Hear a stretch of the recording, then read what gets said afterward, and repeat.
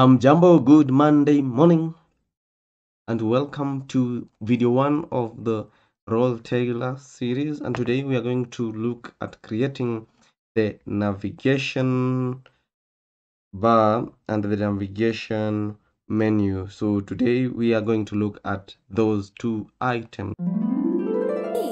Ni Tech Msangi ya jishinde.com.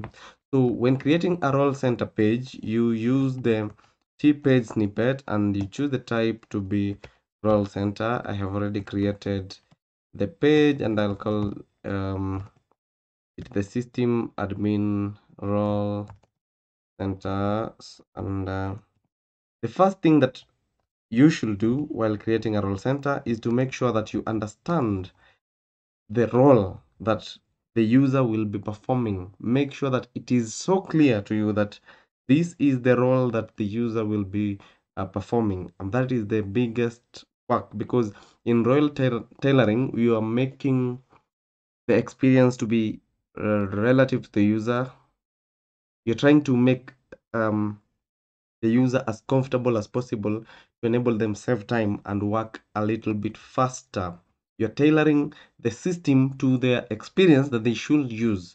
And uh, when creating, the area that defines the navigation bar, okay, the layout defines uh, the layout area, the center area, like this area, but uh, the area of creation doesn't define the navigation bar, it defines the area right after the navigation menu. Now, in the area of sections, that's where the navigation bar is defined. So I can even comment it. Navigation bar defined here. And embedding, we have the navigation menu. So the sections, we can have several groups. Can call this a group just to define the first group. And uh, since group is a keyword, I'll just use it in quotes so that it can it's not seen as a keyword. And in the first group, I can call it group one if I want, or just group, group one. For the area of section since is the system admin, I want my group to have the caption of user. Because I'll be having uniqueness, I am trying to avoid using users and user because I need to have unique values for each group name. So having group one under this section is easier to identify and the section will be user. I prefer having the same name for the section and the name of the object. I run the page. What's happening? There are no suggestions. Because of this, so that's the page that I should run under the first group. Remember, you can have a nested group under the group. You can have another group for user, which will have actions that are related to the user. So that's also an option for having. Uh, you can have a nested group that will have a drop down. So in the navigation bar, this navigation bar in the order of importance, we display the most important actions. So for me, I believe the system admin needs to have the users and user time registers in the order of importance. I can even add it here as the second item. Uh, user time registers. And finally, they need to have user groups, permission sets, and user groups.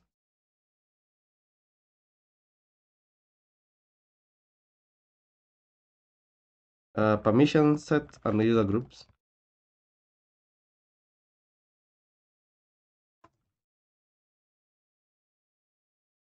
Permission sets and uh, user groups.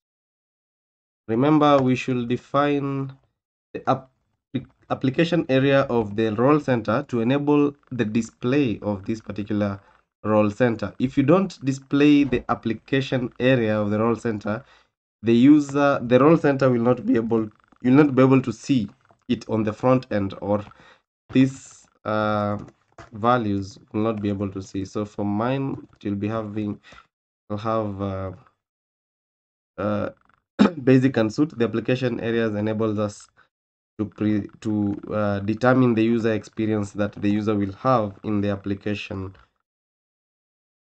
for the different modules. They can be you can define custom application areas but you have basic Suite jobs fixed assets. Those are the most common application areas. For this one we'll have you basic and Suite what's happening here? This top action hasn't been closed for. So we can close that group for there. We only have one group in this. We can add another group that will be a nested group just to see the functionality of a group that is nested uh, I'll have it as group 2 and then I'll have another group here. Uh, let me give it a caption. The caption will be workflows. And then another I have another group now will with the workflow caption and then the group will have now action let's forget the semicolon. So the first action for the group we are trying to look at uh, the workflow user group.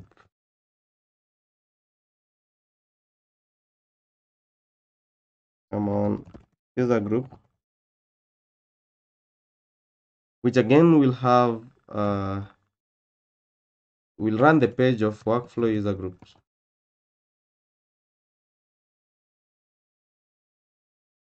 workflow user group. Where's the page?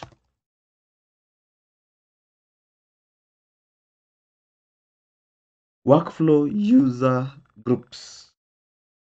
Supposed to be user groups or user group? I think both. User group. The user group is the one that has the okay we'll know. There's one that has the page the other one doesn't have the uh, we can have workflow table relations. One is a card page. Workflow table relations.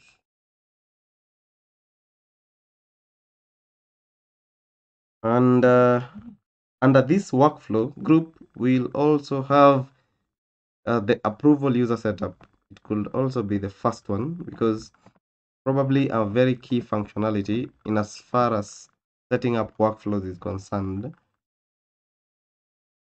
The approval user setup.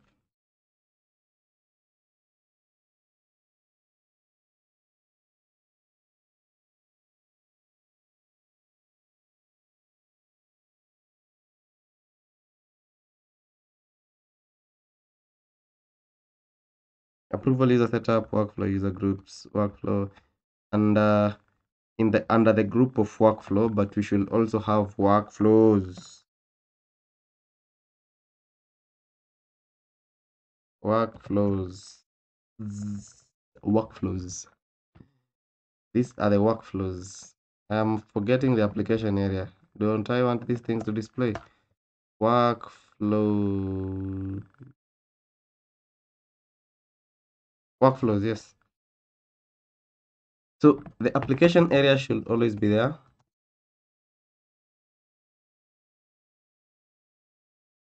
Basic Suite.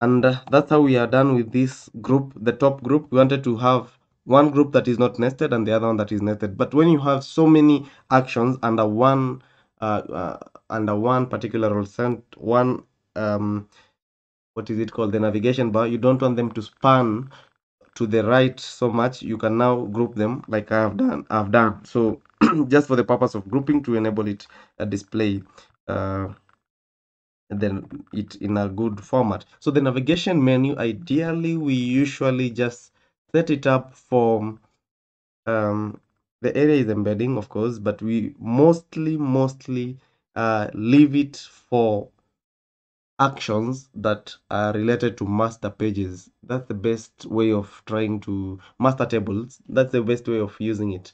Master table is like customers vendors uh, gl accounts um, jobs employee.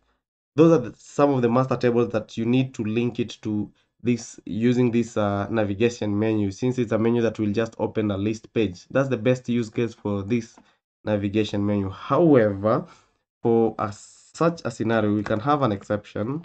Nothing is cast on stone so uh, a page like user setup will be helpful to an administrator. As well we could have a page like page like user setup is good another page that could be helpful here is a page like uh, sessions uh, probably. For an, an administrator and maybe change log entries will be the last one. Sessions. Is it called concurrent active session? Session list and then we can have a page like uh, change log entries and change log change log entries.